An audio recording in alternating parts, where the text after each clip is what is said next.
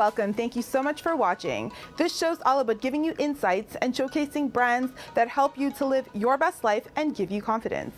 As always, I want to kickstart your morning with some motivational advice to help you to feel inspired and energized to start your day. Today, I want to talk about the importance of mastering your mind. Mastering your mind is one of the most important tools you will ever learn. Our minds are one of the most important tools we possess, and it can either help you to attain success and optimum health and happiness, or it can lead you to the depths of failure and despair.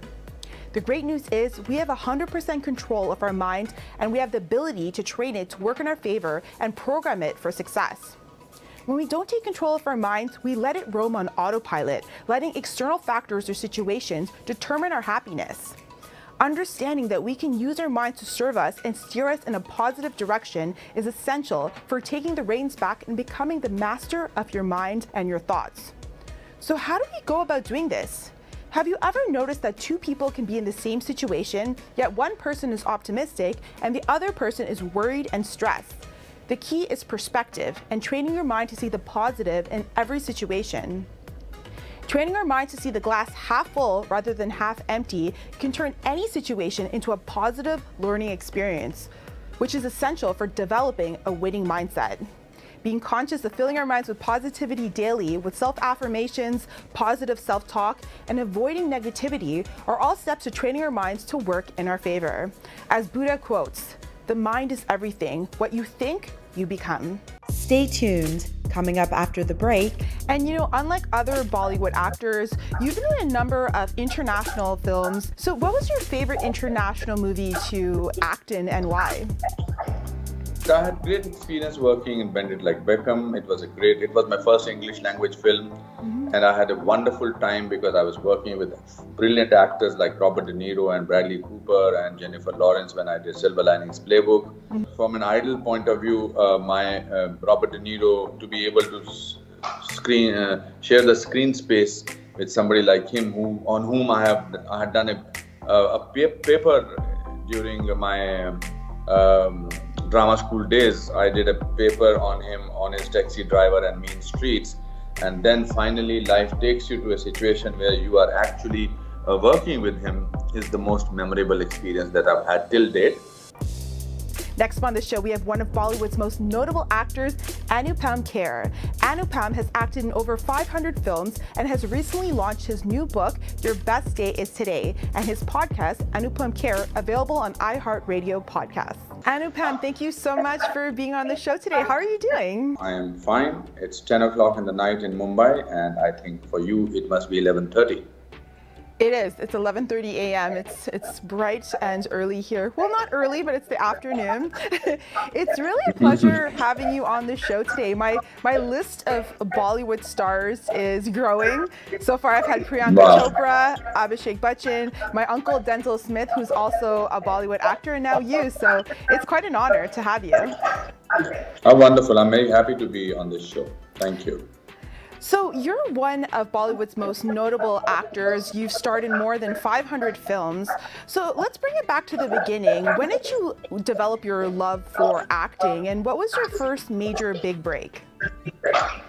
So I come from a small town, uh, which is up north in Shimla. It's called Shimla. It's in under the foothills of Himalaya, and I come from a small uh, family in terms of poor family and uh, the only thing when you are very poor is that you dream a lot. You dream about wanting to be famous wanted to be successful. And uh, but i was not good at studies. I was not good at sports. And uh, the only thing i was good at was i was good at mimicking people. I used mm. to hmm. mimic my teachers my principal my my parents my grandparents and it was fun uh, doing that. And that's where i think the first seed of acting must have got planted. But then i went to a proper training in the department of indian theatre in chandigarh. Then i went to drama school in mumbai and finally landed up in um, in mumbai on the 3rd of june 1981 so i almost going to complete um, almost 40 years in mumbai. My first break came in my first film called saransh mm-hmm. which in english means the essence Mm-hmm. Uh, Saransh uh, was uh, a big break for me. I was 28 and I was playing a 65 year old man's role. Yeah, but it was a great, great, great film. It launched me as an actor in the best possible manner.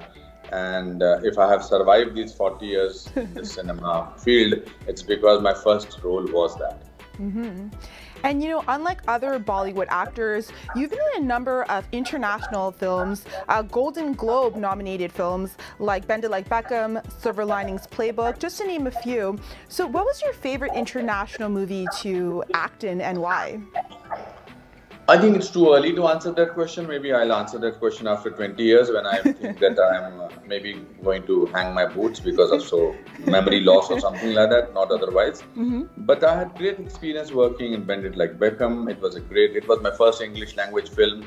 Mm-hmm. And I had a wonderful time because I was working with brilliant actors like Robert De Niro and Bradley Cooper and Jennifer Lawrence when I did Silver Linings Playbook. Mm-hmm. I, I enjoyed equally doing Hotel Mumbai or um, the Big Sick.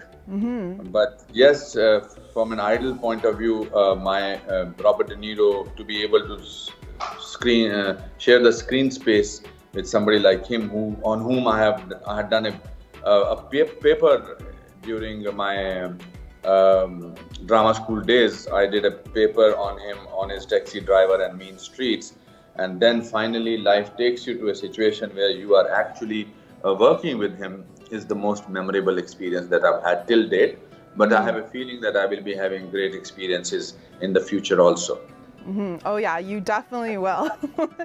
I want to talk about your book. I have it right here. Uh, your mm-hmm. best day is today, and I, I, really love this title of the book. So talk to us about the symbolism Even I have for it. you. I also have oh, we're both matching. yeah, we're both matching. We both have the same book. Let's talk about the title because it really sticks out to me. It's very inspirational. So let, us talk about the symbolism for you uh, for this title of the book.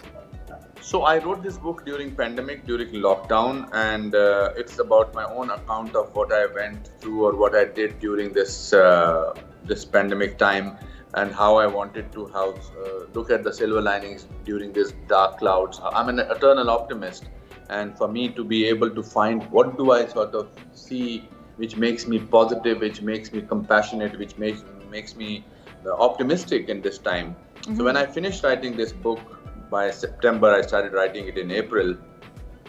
Me and my publisher, which is Hay House Publishers, we've been we were brainstorming what should we call this book mm. because uh, we came my first book was called the best thing about you is you mm-hmm. my second book was lessons life taught me unknowingly and this was my third book and i was not planning to write it and then i remembered that when we were kids when i was in fifth grade and my brother was in fourth grade my mother used to take us on foot to drop us uh, at the gate of the school and at that uh, school, school gates used to say it in kashmiri in my Kashmiri language, Chon Azuk Niko John, which which translated into she will tell me and my brother your best days today.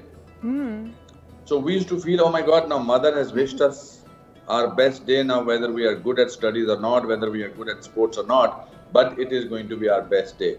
So I thought also the pandemic, the lockdown taught us that we keep planning things in future that we will do this after one month, we will do, this day after tomorrow, or this is what we. But lockdown made us realize that this moment that you are having, that like you and I are having a chat, is the most important moment.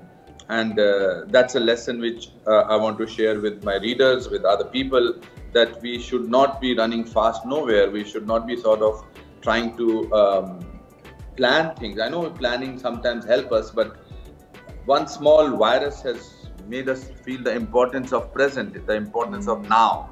Yeah. And that's why this title uh, has come up there. Mm-hmm. I love it. And you know, of course, the lockdown has been difficult for everybody, but especially in India, you know, the lo- it's been a lot more severe, and people have been home for months and months. I know my grandmother was home for almost a year. So you know, what kind of challenges did you face personally during this lockdown, and how did you get through those moments? But I personally feel that the India has dealt with lockdown and pandemic much better than so many other countries mm. uh, because our immune system is already good. Mm. I can hmm. understand my mother and your grandmother uh, not able to go out because of the old age because you can get infected faster. Your immune system is low. But um, the fact that I had never taken an off in, in these uh, so many years as an actor, for me to be not doing anything for so many months was a strange thing to be sitting at home. Mm-hmm. Uh, but that's what also brought me uh, my book. Uh, that's what uh, made me feel creative about it. And I, I also took a pause in life. Um, we are back in full form now. We are as if lockdown had not taken place. We have to be careful. I think we need to be uh, smart about it. But um, we did observe uh, the rules of lockdown, the uh, social distancing, the putting of the mask a little more seriously than most of the other uh, countries have done. And with the vaccine coming out now, two vaccines coming out of India, uh, we are in a better situation, hopefully. Uh, but still, I think people like my mother has to be careful whether she is able to go out or not. Uh, so, so that's that's there. But overall, I think we live in situations where we don't necessarily uh, take care of whether we are having a mineral water or not. So our immune system is much better. I would like to say that. Mm-hmm. I, I, completely agree. You know, what is one thing that you've learned about yourself during this lockdown in COVID? Because I feel like everybody's learned something about themselves because they've had a lot more time. So, what's something you've learned? So, I really learned that I'm not as impatient as people think I am. uh, the, I had my patience at display throughout this lockdown period. I also learned that it's, it's important to have a pause in life Mm, it's also yeah. learned, like so many other people, that you only need three things in life. Basically, you need to be close to your family, your parents, your husband, wife, or your children. Second thing that you need, most important, is essential goods, just some food and some uh, set of clothes. And the third thing, which is very important, is Wi Fi. The rest of it is all luxury. Uh, I learned that it is no point storing things. Uh, mm-hmm. we clutter our belongings, we clutter our cupboards and we clutter our uh, almirahs, we clutter, clutter of the stuff and our mind with so many unnecessary things. And um, so we learned, I learned so many things. I learned that I, I can actually iron clothes very well. uh, yeah, I, I learned that I can write. Uh, means I used to write earlier also, but this time I write out of necessity. I felt that you see the point is when i'm fearful of something when i have to do difficult scenes when i have to do scenes which have long lines of mine i write them down mm-hmm. so similarly this book helped me a lot and compassion is the most important thing that i learned the mm-hmm. quality to be able to listen we don't mm-hmm. listen we were we are we, before this we were so, we are so busy we are pretending to be so busy mm-hmm. sometimes we are just trying to sort of give ourselves this false notion of being important mm-hmm. that it's important to listen to people. It's important to communicate with people. Mm-hmm. Yeah, I think that's very true. I think this has definitely taught us to slow down because, as you said, everything was so fast paced, and everyone's had a time to, you know, slow down, reflect, and you know, also work on their hobbies and things they love and learn things about themselves. What did you learn? I learned, I already knew this about myself, but I learned that I was even more determined than I thought I was because for my show, it was very challenging. In the beginning, our studio was closed. So I had to film it in my basement with the green screen myself. And um, I learned all the tools and I was determined. I brought, I took content out there every week and um, people would be like, how did you do that yourself? How did you film a show? you know, book as, also, also be the host, but I was determined. So I learned that. I think when you are when you are when you are in a situation where you have to test your capabilities that's the best time to do that. Yeah. Uh, you you find new horizons only when you are pushed to the wall Exactly. So that's one thing I learned that if, if I set my mind to it, I will do it no matter what.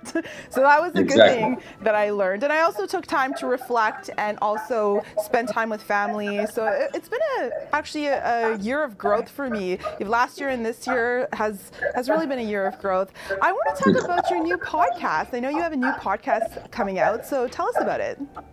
Well, it's out. It's on, on, uh, on iHeartRadio, uh, iHeart. Uh, podcast. Uh, uh, we, you can find it there. It is on Apple. It's uh, on Spotify. It's called Anupam Cares. Mm-hmm. C A R E S. It's 14 episodes. Every episode is between 15 to 18 minutes. Uh, it's basically uh, about uh, the positivity that I wanted to spread or I want to spread in the world, the warmth that I want to spread, the, the togetherness, the diversity, uh, so the compassion that I want to spread, and it is mostly delivered from my own life. Mm-hmm. Uh, I, when you come from a small town, you have amazing stories of compassion and amazing stories of of goodness that you have witnessed all your growing years. So it's about that, and then the producers have taken such amazing uh, stories of other people from various walks of life uh, from the world and put them together. Juxtapose these two stories. So, um, so basically, and I'm I'm glad to say that share that it's people are liking it. I, I hope your viewers and your listeners are also going to check. It's called Anupam Cares. I wanted to play around with my name, uh, so it, it's it's worked out well. I these are various stories, like my childhood stories, like a fairy tale stories. I told you in the beginning, my grandfather used to say when you're. I asked him one day. I said, "Grandfather, we are very poor. Why are we happy?" Mm. And he said, "When you're very poor, the cheapest luxury available is happiness." Mm. So, so these are the things that I spoke about about my first play, about my first life. Then the last chapter is about my father, who at the time just 20 or 18 minutes before he passed away, he whispered two words in my in my ears, and they were "live life." Mm. So for a man who was going to die in another 20 minutes, for him to say the last two words as "live life," I think is it's a, it's a great story. So based on these stories, there are so many other stories of people who are so inspirational, who are so motivational. Their stories, their small little uh, anecdotes uh, make this uh, this uh, podcast a little uh, interesting and uh, inspirational also. Mm-hmm. I was just going to say it sounds very inspirational, um, and I for sure will be listening to it. I'm sure our viewers will be because you know, especially right now, uh, inspiration is much needed. You know, it's it's it's kind of dark times in the world, and yes. um, I think a little boost of inspiration goes a long also, way. when you when you when you when you listen to the other people telling about their hardships, their difficulties, and yet staying positive, it it's a very it has a very um, uh, infectious uh, effect on other people. Mm-hmm. I feel goodness is very infectious. I think honesty is very infectious. I think to be uh, being cool is being inspirational. Being cool is being honest. Be, being cool is being punctual. I think we can do, give so much love to people. We we need love, and this time we discover that what cures us is compassion and love and hope. Mm-hmm. So the, the the Anupam Cares is a podcast which gives you hope that you live in a good, better world. Mm-hmm. Otherwise, we are constantly told that we live in a dangerous world. We live in a uh, world which believes in uh, negativity. But we need to also, as individuals, take the responsibility of spreading the message of hope and goodness. Mm-hmm. I think that's very true. And you know, our show is about inspiration, showcasing people like you have been who have been very successful and inspirational. So I want to ask you, I always like to ask my viewers, you know, what do you think the key to your success has been? Because you've obviously been extremely successful. So what do you think has kind of led you there? Because I'm not scared of failure. Mm you are successful as a person, not necessarily always as a professional, because somebody is better doing better than you as a professional constantly. Mm-hmm. You, I can think that, oh my God, uh, why am I not Brad Pitt? But how many people can be Anupam Kher? I think uh, at a very young age, my father told me that failure is an event, never a person. Mm-hmm. Um, and number two, I'm an eternal optimist. Number three, I'm hardworking and honest. Mm-hmm. There is no alternate to hard work and honesty. But never giving up is the best way to live. Mm-hmm. I never give up. It, it, doesn't. You. It does appear that I have a very successful career, but I've seen ups and downs, thousands of ups and downs, like any other person in real life has. Uh, it, our perspective of ups and downs changes from person to person, but I never give up, and I am. I am not scared of failure, and I'm an eternal optimist. For me, the ultimate definition of optimism is nothing is all wrong even a clock that has stopped running is correct twice a day. Mm-hmm. I think that's great advice. Thank you so much for being on the show today. It's it's been Of a course. pleasure, and you know you're such an inspiration and so positive, and it's infectious. So thank you, and please come back soon. Absolutely, absolutely. And give my love to your family. Tag TV is available on Roku, Amazon Fire TV, Apple and Android TVs, as well as on Apple and Android phones. Watch us live through YouTube and Facebook.